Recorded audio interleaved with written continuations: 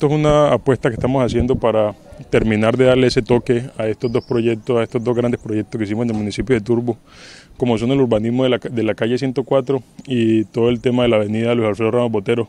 Son dos vías como nunca se habían visto aquí en el municipio de Turbo y mucho menos en la región de Urabá.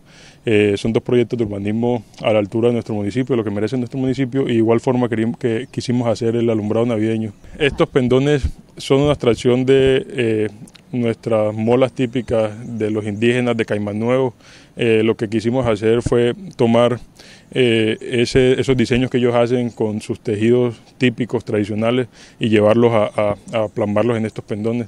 Eh, por eso en diciembre, el 7 de diciembre que va a ser el lanzamiento de este alumbrado navideño, ustedes podrán observar que estos grabados que se hicieron en, en, el alumbrado navideño tienen que ver totalmente con esa tradición que tenemos aquí en el municipio de Turbo. Este es un proyecto financiado 100% por la administración municipal.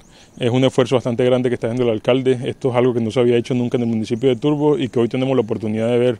Es una oportunidad muy similar a, que, a la que se tiene en Medellín con los alumbrados navideños. Inclusive nosotros queremos llegar más adelante el próximo año a, a ser el segundo municipio en Antioquia o en Colombia con el mejor alumbrado navideño. Así que este año es un primer intento, es un primer acercamiento y esperamos pues llegar a eso en el próximo año.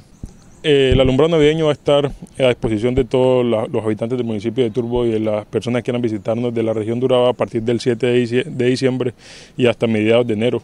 Eh, este alumbrado va a contar con una particularidad y es que estas vías, la 104 y la carrera 14, se van a cerrar ciertos días de, este mes, del mes que van a estar eh, iluminados para que la gente pueda caminar por, por, y, disfrutar tanto del urbanismo que se hizo en la avenida Luis Alfredo Ramos y en, la, y en la calle 14, como en la calle 104, perdón, como el alumbrado navideño. Desafortunadamente este año no tuvimos el apoyo de EPM, pero estamos haciendo un esfuerzo muy grande, estamos invitando también a las comunidades para que se vinculen a esta, a esta campaña que estamos haciendo de alumbrado navideño. ¿Qué, ¿Cuál la invitación? Eh, que alumbren sus calles y van a tener un incentivo muy bueno para que tengan una fiesta ya sea el 31 de diciembre o el 24 de diciembre para que animen sus cuadras.